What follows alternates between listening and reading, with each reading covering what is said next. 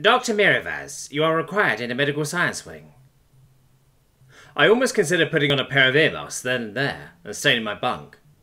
Spent nearly half a decacycle on my homeworld's most prestigious college, learning all I could about xenobiology, multi-race medicine, and both domestic and alien archaeology. To say then that I was displeased with my job as a doctor aboard a bulk standard freighter called the Minty would be an understatement. Maybe I was naive in thinking I would be among those few to make some groundbreaking discovery in at least one of those fields, but those people still had to take some steps to get there, right?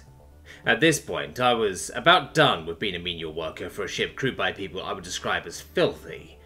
Honestly, you would think by the seventh or eighth time you treat someone for an interspecies illness, that the crew would learn something, but not so for the Minty's humble spaces.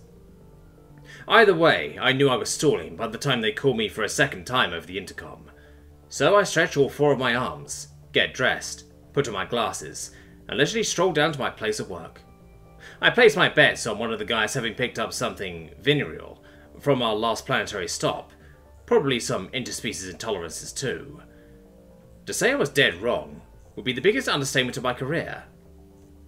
With some of the security crew standing watch over it, there sat an artifact of human origin. Humanity was an ancient species, the first ever known intergalactic civilization, and the only Deathworlder ranked civilization to achieve FTL travel of their own accord.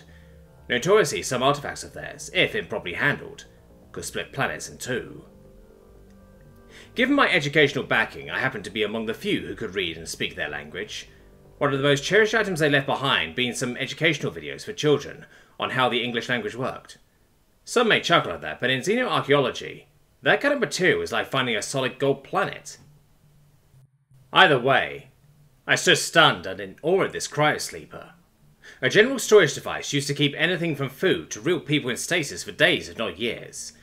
So far, no one had found a live wise man in a cryosleeper though.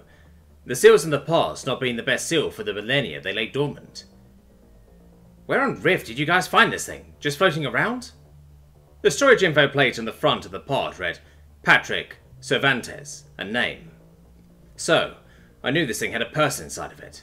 Alive or dead was the question, and I see with anticipation. Well, yeah, pretty much. Caught some spare salvage off the radar and caught this wedged into an asteroid. Didn't know what it was till we brought it in.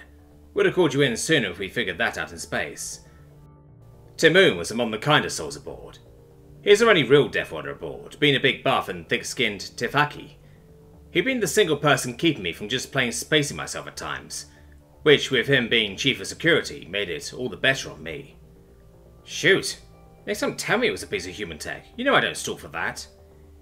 Yeah, but thought not to get you excited. Whenever they open these things, the man inside is always dead as bones. Chief Engineer Krieger was among the people who ended up in a sickbay a lot of the time, thanks to her activities on leave, as I would know all too well. Being a Keltrian, she looked and was built like a supermodel. Her species was only a notch off Deathworlder status for lacking a few key traits. While I take no issue with Krieger personally, I did wish that most of the crew would not follow in her example on leave. Only because the cell's always cracked. This one looks pristine. Where's the captain? I think he'd be here for this. High pirate activity reported on our star line.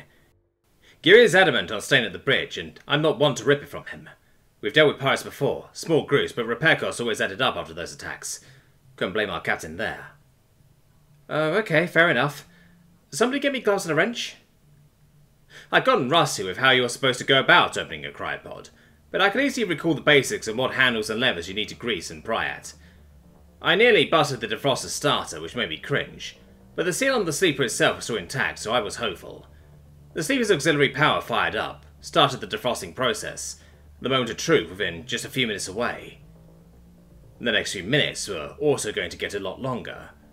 Red alert! Bogies off starboard, all hands to battle stations. The captain, for all he is, was no slouch in getting the situation across well through tone alone. Tamon, Krieger, and most of the other crew present bolted off to the bridge, armory and engine room respectively. This left me pretty much solo in medical, should any wounded be funneled in. Up to this point the small couple of pirates we faced had been some drops in the bucket, the Minty having been more armed than most freighters our size. However, looking out the porthole, I could plain see that this group was in a small frigate, with border craft coming in hot. I would have started writing my will, If only I knew no one from home was ever going to lay eyes on it. As a non-combative member of the Minty, I did the noble thing, and hid behind the cryosleeper. I may be well educated, but I cannot work a firearm for the life of me. With the crash of a boarding craft into an airlock on the other side of the hall from medical, I figured this was going to be it. The heavy boots of pirates and armored exoskeletons all but tore the door off. Three Tiflaki like Muon walk in. At this point I envied the guy in the cryosleeper who wouldn't be waking up for this, until this assault was over. Well, on the bright side, at least I got to actually lay hands on a piece of human tech. I knew they found me when I heard the charge of a plasma shotgun close to my head, and a metallic chuckle of a Tiflaki pirate in grade A power armor. Flaks are either sweet and kind like Muon, or bloodlusting warriors who think that being part of the Galactic Coalition makes them weaker than weak. A lot of those same people also carried off the better chunk of the galaxy's plasma weaponry, and have been a pirate scourge against space for since before I was born. Needless to say, I thought I was dead. Key Keyword being thought. I could feel the plasma heat build up along the side of my face, and just as it was about to hit climax, it went cold. I heard the sounds of crumpling metal and bone, and I could feel droplets of leafy green, viscous blood trickle onto my lab coat. What I saw then crash down in front of me was a Tiflaki, helmet crushed like a used ration bar wrapper, while still in his head. Before I even look up, the other two were already lukewarm on the floor, charred stumps where their head should be. With a hand on the cryosleeper, I had realised it was open, and empty. Whatever its contents were, now missing. I was pondering what to be more worried about when I heard something behind me clear his throat. Um, do you speak English? Taller than me by a full third of my own height, I went up like a side up deathworlder, shoulders broader than most flaks, voice smoother than a Keltrian's, and awfully polite given the circumstance. A more primitive species would have labelled him a god and worshipped him as such. Honestly, I wouldn't have blamed them. Thankfully, I was among the few dozen people in the galaxy that did speak humanity's English. Kah! Uh, yes, yes I can. You... you... you're a tall guy. I was also, however, under a bit of stage fright. This was the first human anyone had ever seen alive, and it was up to me to do first contact. I felt small. Suppose so. Good to know there's still some intelligible words out there. Got a name? He didn't seem bothered with the courses on the floor. Combined with the smoking sidearm up his hip, I had to assume he was a veteran soldier. Wasn't killing me, though. So he wasn't just some mindless killer. Y yeah. Dr. Miravas Noria, head of medical staff aboard the Minty. We're currently being boarded by pirates. I couldn't see his face, but I could tell his eyes were narrowing. Patrick Cervantes. Oh, since I'm willing to bet that Sol Command no longer exists, you may call me Pat.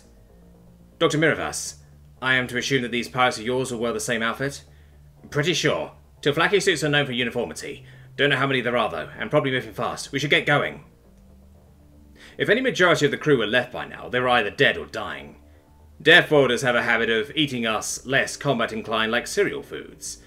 I knew Muon would be still fighting, whatever force remained. Thankfully, I also knew he would be dressed in the Minty's uniform rather than any of his culture's armour. Alright then, Miri. I don't waste any time then. Follow if you want. Don't get shot. Normally, what Pat would be doing would, under any other circumstances, be suicidal, but he's human.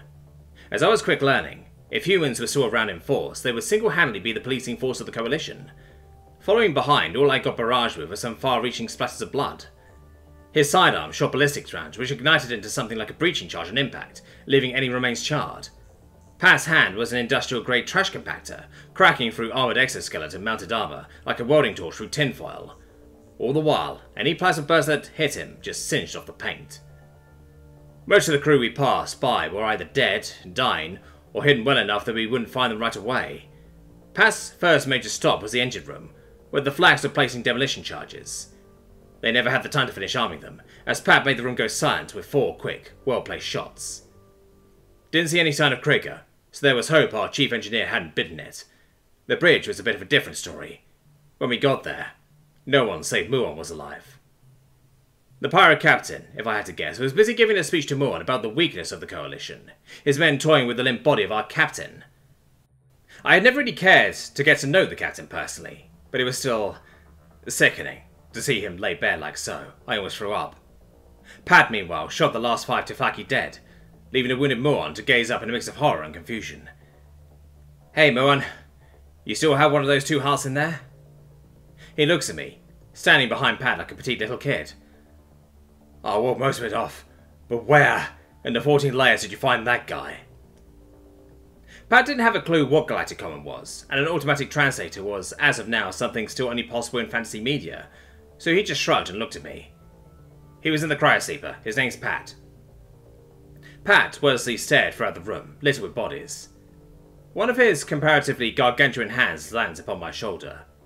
It came as a shock to me at first, but the relief at the understanding that Pat knew all too well what had happened here. In some way, that gave me enough comfort to carry on. So you're saying he's a human, alive, in the flesh.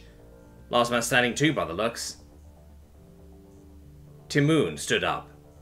Pat still stood taller by at least a quarter of a standardized meter. May the saints grant mercy on us all.